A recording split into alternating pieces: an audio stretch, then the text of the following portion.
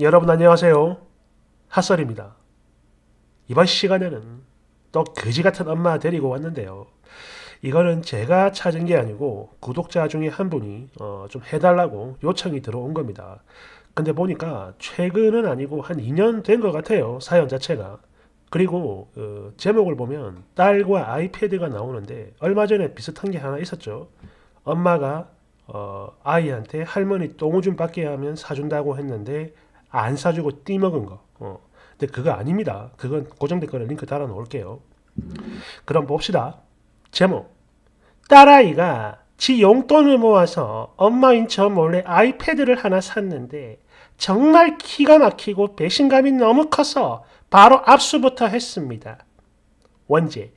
딸아이가 저 몰래 아이패드를 샀네요, 글쎄. 방탈인 건 잘 알지만 좋으니 꼭 듣고 싶어 이렇게 글 올립니다. 저희 딸은 이제 고3이고 평소 용돈은 주 3만원씩 주고 있어요. 아직 어린 나이지만 경제관념, 이거 하나만큼은 철저히 교육을 시키기 위해서 평소에 꼭 필요한 게 아니라면 절대 쉽게 구매하지 못하도록 우선 엄마 아빠한테 미리 계획서를 제출한 후에 허락을 받고 사라고 늘 이야기합니다. 물론 아이도 그런 제 말을 잘 따르기도 했죠.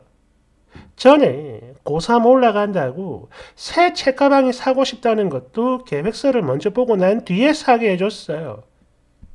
사 준 것도 아니고 자기 용돈으로 산 겁니다. 책가방을. 음. 그랬는데 바로 오늘이죠. 아이가 자기 친구들이랑 논다며 잠깐 밖에 나간 사이에 제가 방 청소를 해줬거든요. 그런데 책가방이 아무렇게나 널브러져 있길래 정리를 해줘야겠다 싶어서 가방을 좀 열어봤는데요. 아니 이게 도대체 뭐야? 제가 사주지도 않았던 게다가 계획서조차 받지 못했던 아이패드가 들어있는 거예요. 깜짝 놀라서 바로 사진을 찍었고 카톡을 보냈습니다. 너 이거 뭐냐고 물어봤더니 아이가 되레 적반하장으로 왜 자기 가방을 뒤졌냐며 더 화를 냅니다. 진짜 이것 때문에 기도 안 찼는데 일단 아이패드는 압수를 했고 친구가 뭐고 너 지금 당장 집으로 들어와라 이렇게 이야기를 했습니다. 하, 이런 일이 있을까봐 지금까지 그렇게 철저히 교육을 시켰던 건데 이거를 부모 몰래 샀다는 거 하나만 해도 어처구니가 없고 아니 그래요. 처음엔 이거를 다른 친구한테 빌려온 건가 하는 생각을 안 한 건 아닙니다.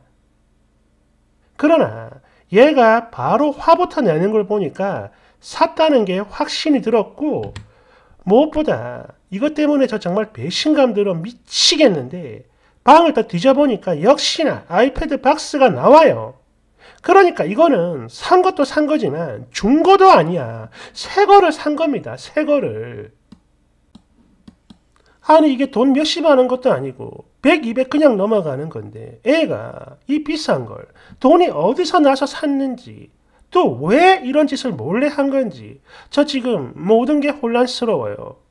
아이가 아직 집에 들어오진 않았는데 사실 그렇습니다.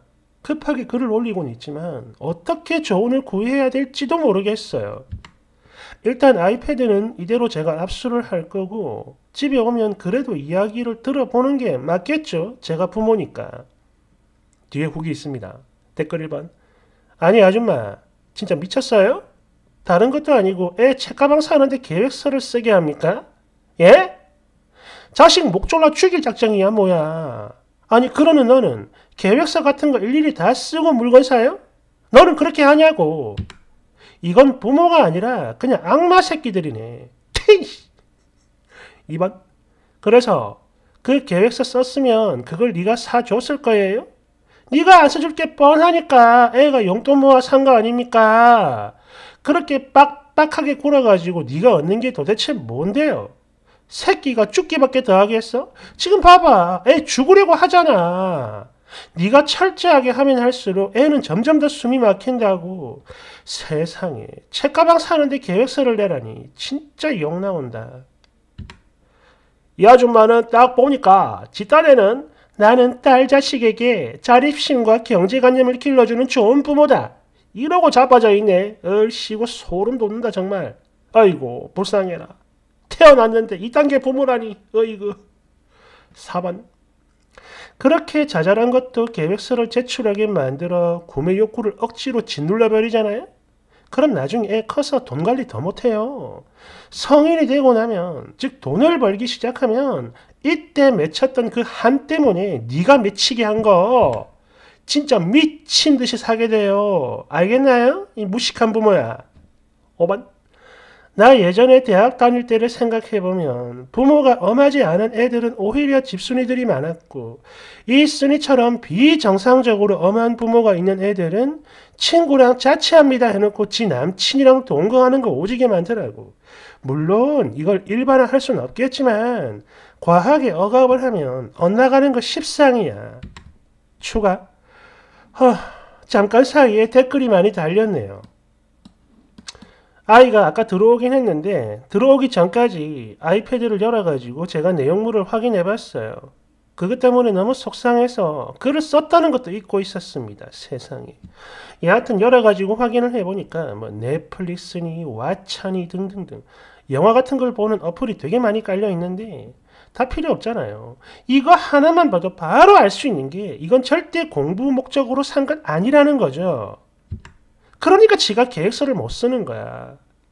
비번이 걸려 있더라고. 처음엔 저도 살짝 애를 먹었는데 뭐 생일이랑 전화번호랑 이래저래 조합을 해보니까 금방 열리더라고요. 어쨌든 또 카카오톡이 깔려 있길래 평소 친구들과 주고받던 일상 대화도 제가 보게 됐는데요. 이 역시 마찬가지. 저는 정말 충격의 연속이었습니다. 집에선 그렇게 바르고 조용하던 애가 무슨 이중인격자야. 너무나 상스럽고 험악한 대화를 주고받는데 뭐 가벼운 인연 전형 같은 욕부터 뭐 시댕 같은 10원짜리 이런 단어들도 기본이에요. 나 처음 봤어. 정말 제 마음이 갈기갈기 다 찢기고 와르르 무너지는 것 같더라고요. 하지만 아무리 그래도 내가 부모니까 애한테 이야기를 일단 들어는 봐야 될 것 같아서 조용히 기다렸고 지금은 뭐 대화까지 다 끝난 상태입니다. 물어보니까 뭐 여러분들 말씀하신 것처럼 아이패드는 지가 용돈을 모아서 산 게 맞대요.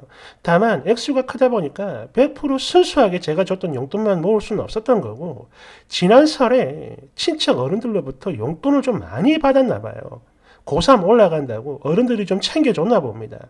근데 그거를 얘가 엄마 인천한테 비밀로 한 거죠, 글쎄. 이때도 배신감 오져요.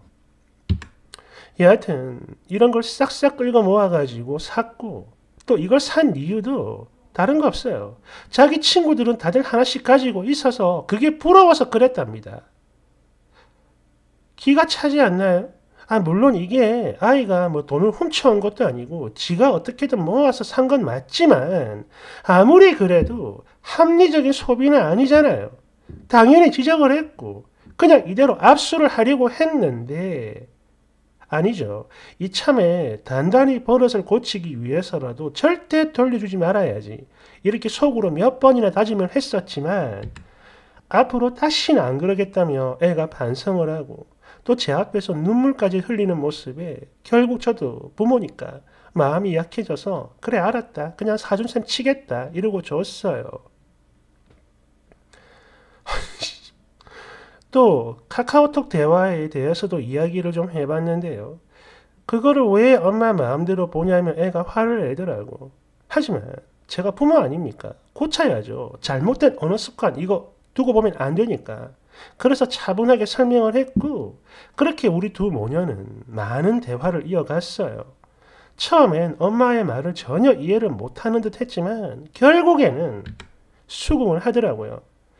예, 하여튼 그렇게 대화를 나누면서 애가 참, 어, 그래요. 많이 울긴 울었는데, 그걸 보니까 아이의 이런 마음을 너무 몰라준 것 같아서 좀 미안한 마음이 들기도 하고, 또 한편으로는 이제는 당당하게 책상 위에 올려져 있는 아이패드를 보고 있으니까 제 마음이 또 이상하고 그래요. 뭐 그래도 어쨌든 좋은 방향으로 해결돼서 다행이긴 합니다만은 그리고 이거는 제가 꼭 짚고 넘어갈게요. 글을 쓰기 전에 아까 댓글들을 먼저 쭉 살펴봤는데요. 쓴소리가 생각보다 되게 많더라고요. 물론 다들 저희 가족을 위해서 달아주셨다는 건 알고 있지만 아무리 그렇다 하더라도 자식이 교육에 대한 건 가정마다 부모마다 다 방식이 있는 거고 또 딸하고 저한테는 이 방식이 제일 잘 맞다고 봐요. 지금 봐요. 반성하잖아요. 가끔 이렇게 딸이 음, 예상치 못한 쪽으로 움직일 때면 대화를 통해서 다시 잡아주면 된다는 생각을 해요. 뭐 어쨌든 달아주신 댓글들은 감사히 읽었습니다. 그럼 안녕히들 계세요. 댓글 1번. 뭐? 사준샘? 사준샘? 야, 진짜 돌도끼로 아가리 확 찢어버리고 싶네. 야, 이 미친 아줌마야. 계산 똑바로 안 하냐? 사준샘 칠 거면 일단 돈 150부터 주고 씨부렁거려. 2번. 애가 그동안 다른 거 사고 싶어도 그거 꾹 참고 참고 모아서 산 아이패드를 사준샘 치겠다고. 기도 안 찬다. 일단 여기서부터 이 여자는 제대로 미친 거고요. 카톡 본 거. 이건 또 뭐야? 이게 자식 사생활 침해라는 생각은 전혀 안 해보겠죠? 당연히 이것도 너는 교육이라 생각을 하겠지? 그래, 가정마다 훈육 방식이 다른 거 나도 인정해. 근데 여기에 딸을 존중하라는 댓글이 천 개가 넘게 달렸다. 천 개가. 이 정도면 본인 스스로 다시 돌아봐야 되는 거 아니냐?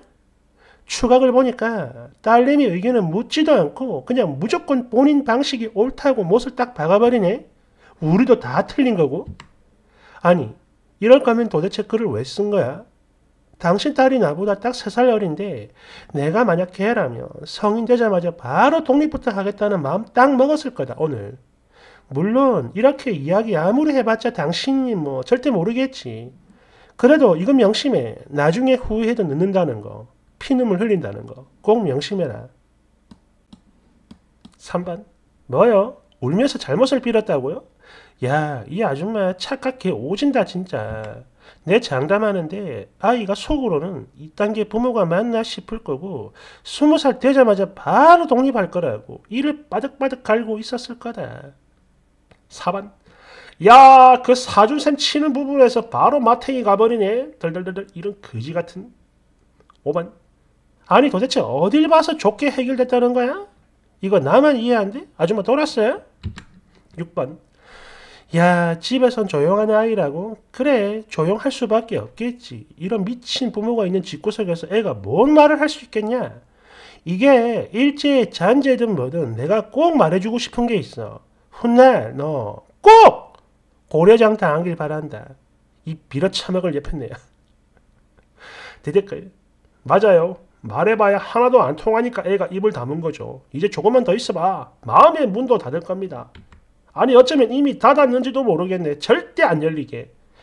그리고 다른 건 몰라도 어, 그 계획 말이야. 고려장 계획은 확실하게 세웠을 거요. 어. 특히나 아이는 자신의 모든 게 감시를 당하고 거기다 카톡까지 훔쳐봤, 으면 사생활은 뭐 아예 하나도 없다는 거네 평소에 폰은 지웠겠지 애가 그냥 자신의 모든 게 다 노출되는 삶이라고 생각을 하게 될 텐데 이래가지고 애가 불안해서 거기서 살겠냐? 정신병 안 걸리는 게 더 이상한 상황이야 아우 진짜 7번 어릴 때부터 저렇게 억압을 하면서 키우면 나중에 부모 늙었을 때 지들 자식한테 진짜 똑같이 당하더라고. 그러면서 지들은 또 불효 자식이니 뭐니 억울하다 징징대는 거. 이거를 자업자득이라는 걸 끝까지 죽어도 인정 안 해요. 너도 그렇게 될 거다. 8번. 요즘에 이런 부모가 너무 많죠. 주작 같지가 않아요. 대댓글 맞아요. 자식한테 돈을 어떻게 쓰는 게 현명한 건지 부모가 됐으면 이런 걸 가르쳐야지. 이렇게 그냥 아예 돈을 못 쓰게 하는 것들이 딱 저런다고. 더 소름 돋는 건 봐봐. 지들이 옳고 똑똑한 줄 안다니까요. 하나 더 있죠. 지가 착한 줄 아는 거. 이 아줌마도 제가 평소 말하는 거기에 완벽하게 부합을 하네요.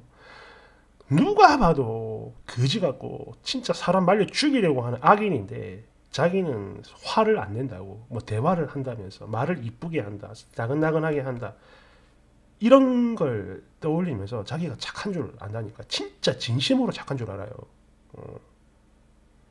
아무튼 어, 이 아이는 얼른 탈출하길 어, 바랍니다 지금은 글 지우고 도망갔어요. 어, 당시 사진 찍힌 거 보니까 댓글이 한 1200개 넘어가던데, 야, 제가 지금까지 수많은 사연을 가져왔지만 댓글이 이렇게까지 많이 달리는 건 드물거든요.